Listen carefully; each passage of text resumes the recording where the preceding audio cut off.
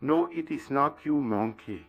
Like I said in World War II, I need somebody to give them up for the war and also the vehicles.